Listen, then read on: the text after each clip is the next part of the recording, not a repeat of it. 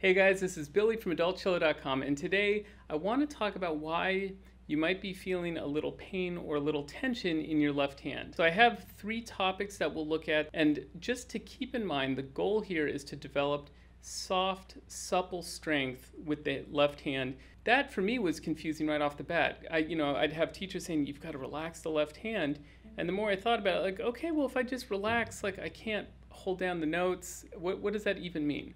So supple strength, I thought of an analogy that I think really works. If you've ever been on a subway, or if you've been in an airport and you take that tram that goes from say the terminal to the baggage claim and and they you know they'll they'll have like hangers to hold on to or they'll have rails and they say grab a hold of something.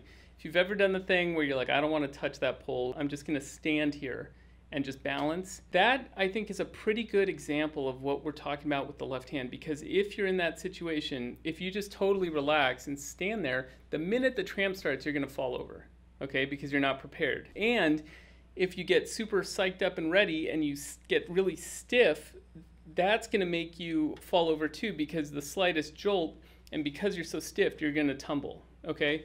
What you end up doing is you get kind of like a solid base, very kind of solid foundation in your feet, and then you want to just have kind of a loosey-goosey body that's ready to sort of roll with the punches as the tram, you know, lurches forward or turns or anything. That's what we want. I, I think our feet in that example would be what we want from our fingers. So you need to have, you know, solid foundation, good contact with, you know, the string, the position, but the rest of the hand has that kind of inherent flexibility in it. All right, so number one is be like a spider. So does this look like your hand? Here I have, I'm playing notes and I've got the bulk of my hand is really far from the fingerboard and the fingers are straightened out, they're kind of flattened out. And so I've just got this sort of a, like a duckbill kind of shape with the hand going on. So when I talk about being like a spider, what when you have these flattened out fingers like this, what that generally is, is stiffness in the joints of the fingers, okay, especially this, this row of knuckles right here at the top of the hand.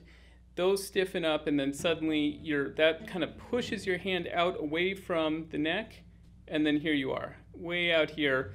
Playing fourth fingers uh, is a nightmare, playing in extensions is a nightmare. It's just very uncomfortable in general. So here's an exercise to kind of work on that. What you want to do is promote flexibility in your knuckles.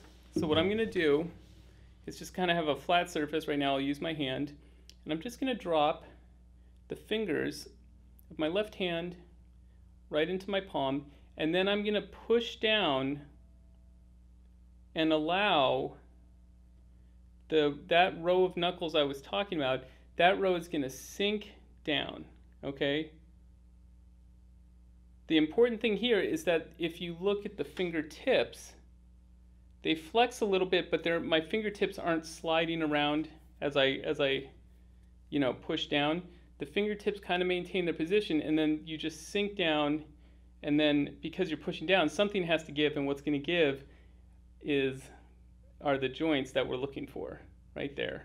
Okay, that was something I had to work on. Was I had, you know, especially the harder the piece was, the more I would kind of stiffen up in preparation which ironically made it harder and harder to play the harder pieces. All right, so number two is called focus on your framework. All right, right now what I'm demonstrating is an approach to the cello in any hand position. Right now I'm in first position, but I'm so focused on maintaining half steps between my fingers and it creates a ton of tension in the top of my hand.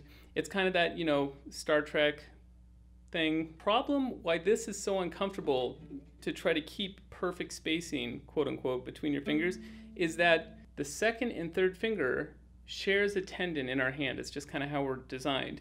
And so keeping a big space between two and three at all times is going to lead to a lot of tension just because they don't want to be separated, they want to be together. So what I do and what I, you know, tell my students to do is to focus on the framework. What I mean by that is in every time you have an established hand position on the cello, I'm going to focus on the placement of my first finger and my fourth finger. I'm talking about the lower neck right now. It's a little different in thumb position.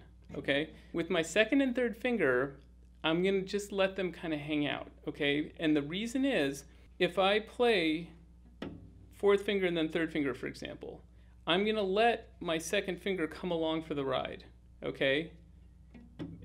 Nine times out of 10 because I don't want that extra stretch right in the middle of my hand. And you can sometimes it, you can almost feel it all the way down the top of your hand if it really gets tired okay? Likewise if I play first finger and second finger right after or if I play fourth finger and then second finger my third finger is going to shade towards my second finger okay? And that's fine with me because as long as my framework is established then with two and three I'm just going to place them as needed let's you're playing a passage in D major and you're playing primarily first, third, and fourth finger. When I'm in that mode, I'm not worried about where two is. It doesn't have to hold a position. It's not even if it's not going to be played soon. There's no reason to worry about it. I just want to have a very relaxed hand while I'm playing notes. Okay, so give two and three a little bit of a break. And finally, number three, pinky power. Okay, so I'm playing and I have a completely straightened out pinky finger. Okay, almost like it's a kickstand on a bicycle. Um, this creates a lot of tension. It was actually something that got me in a little bit of trouble tendonitis wise at some point. So I know all about this, and it is something you want to avoid at all costs. The problem is, unless you have the world's luckiest hand shape, for most of us, our pinkies are much shorter than the rest of our hand. Okay, and keep in mind also, along with having a short pinky, a lot of us have a hand shape where there's kind of like this banana shape here. So it's not even going straight across. The hand, the start of the pinky is starting lower, so that makes it even shorter in comparison to, say, the second finger. All right, so here's how to kind of back solve that and find a good position for your pinky before you even start playing. All right, so what we're gonna do to find our pinky position is I'm gonna take my hand and just put it on the side of the neck here, my left hand, so I have the middle finger touching. Okay, currently if you look, only the middle finger can touch. So to get one and three to touch as well, I have to bend the middle finger. Okay, so that bend allows the other two to connect, and now I have fingers one through three connecting on the neck. Now, look at my fourth finger. It's not, it's nowhere close. It's not even close yet, okay? This is the problem we have. So then, if I just keep bending the fingers, eventually, fourth finger can touch. And that's, so that's the concept you're gonna need. The fingers are bending to allow the fourth finger to get closer, and also the top of the hand is coming closer to the neck.